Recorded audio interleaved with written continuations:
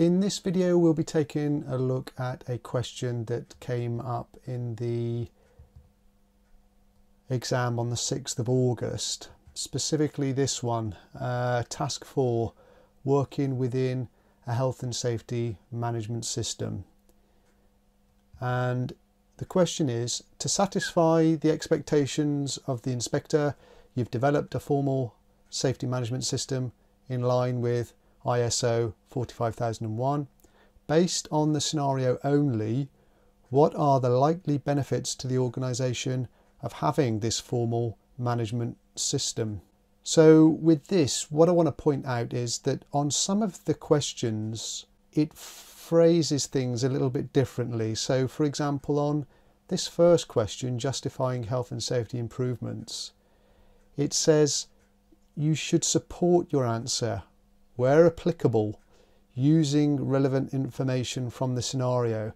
I've noticed that a few times is that they'll use different instructions. So that's different to this one. This one, it's saying based on the scenario only. So I think my interpretation of that is it's making it more strict about linking your answer to the scenario when it comes to benefits of uh, a formal health and safety management system, it's quite easy to research that because there there are loads of companies out there that offer accreditation or consultation to support companies to become accredited to a formal health and safety management system. Because there's money to be made by companies selling accreditation, anything like that, you'll always find that you don't have to do too much digging to find some benefits because that's part of the sales process, isn't it? There's a there's a there's a saying within sales: uh, don't sell the features of the service or product that you're offering, sell the benefits. So all you literally have to do is put ISO 45001 accreditation and you'll see all these companies that are plaids so they've got something to sell. So it won't be too long their landing pages ought to start listing out the benefits. There you go. Why should I apply for ISO 45001 and here's another example. But here's the thing. These benefits aren't based on the scenario, so they won't gain any marks. What we have to do is make sure that in our answer we're linking everything and basing it on the information in the scenario. To do that, what I recommend is read the scenario and then drawing out from the scenario information that you think a health and safety management system would assist with, would help with. So I'll give you an example. Let's get the scenario up. So this is the one where it's a, it was a forklift truck incident in a, a warehouse. Let's read, and what, what I'm going to do, I'm going to start reading through until I find something that I think, right, okay, that's, that's a bit of information there that I think I can link to a benefit of a health and safety management system. The organisation that owns the store has 100 stores nationally and 10 in your area, there is something there. The fact uh, that they've got so many stores, they're obviously a big chain. Having a health and safety management system means that an organization like that will be able to much more easily implement a consistent approach to health and safety across all of their sites, put sort of like an umbrella in terms of processes and procedures and systems uh, and have a consistent sort of infrastructure that covers all of their all of their 100 sites.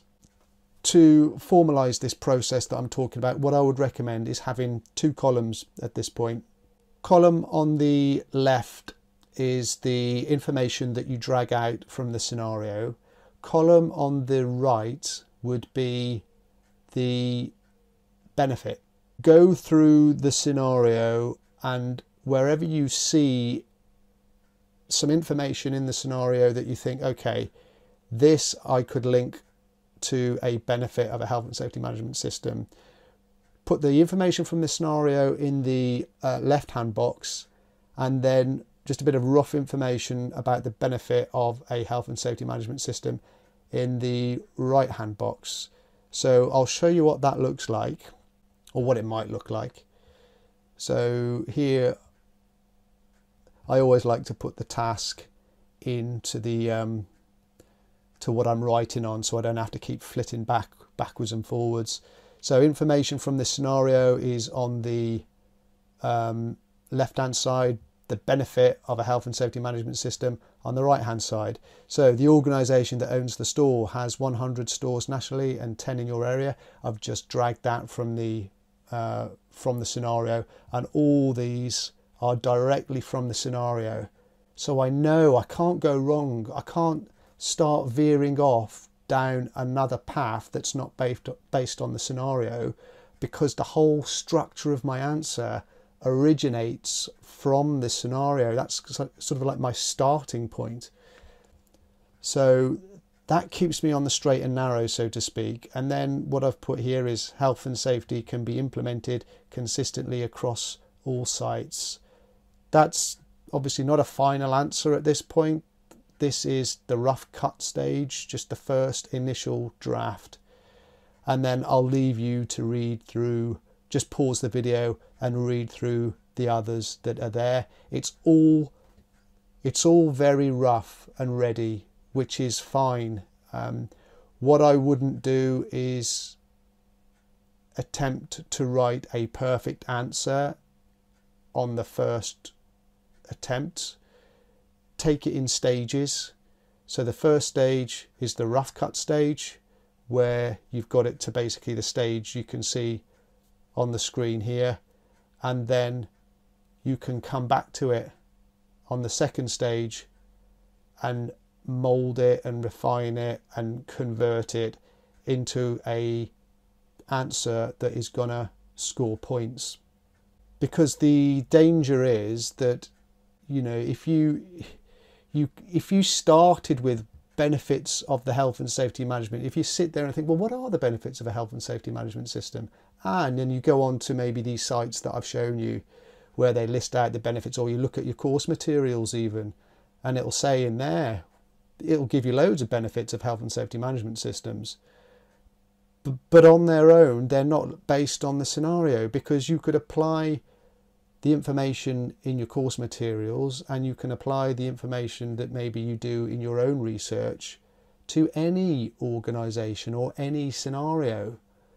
So that's a good question to ask yourself. If your answer, if you, as a double check, if you read through your answer and you think to yourself, hold a minute, that's quite generic, that could apply to any situation, it could apply to any organisation uh, and that's what you'll probably find because the the course materials and especially websites that are from companies that are selling services they want to reach as, as many people as they possibly can so they're not going to tie it down to a, a specific scenario.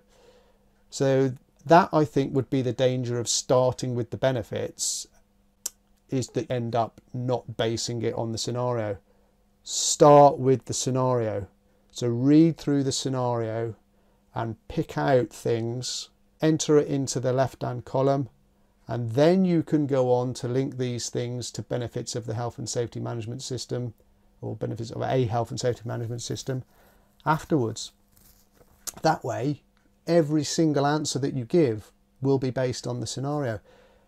And what I've uh, done here, I've got 15. I'm not going to use all 15 to be honest with you.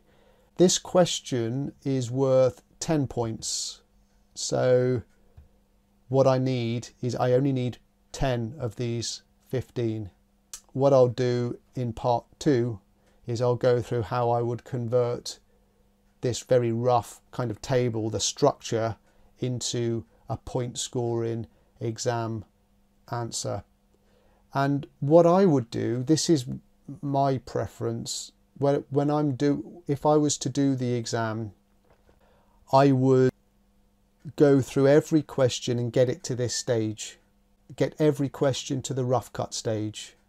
Because looking at that now, those 15 bits of information from the scenario linked to benefits of the health and safety management system, in an exam situation, I'd be feeling quite positive about that because I know that I've done most of the hard work.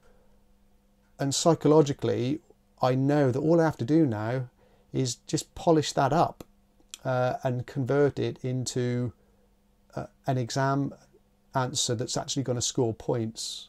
And I'd be quite positive. I'd be feeling quite positive about things if I got every question in the exam paper to that stage, and it would help get you through um, get you through the entire paper in a very sort of positive way with minimum sort of friction. There is a but though, and I say this on practically every video, being able to go through the scenario and read it and, and be able to identify things where you can link it to a benefit of a health and safety management system, it's not as easy as it as it might sound. My message to you here is you have to study before the exam day. Don't think that you're going to be able to pull information out of the scenario without having embedded that foundational level of knowledge. It all needs to be pre studied before you sit down on exam day. Otherwise, you could it'll take you the best part of uh, an entire morning to get through a single question unless you have that knowledge already locked away and then what you're doing on exam day is you're demonstrating how you're going to apply that knowledge and that you understand the raw material so I hope that helps. As I said in part two, I'll go through how I would convert the table, the two column table, into a proper exam answer. I hope you've got some value out of the video that you've just seen. If so, I'd like to invite you to subscribe to the channel so that you can be alerted to when we produce and upload more videos.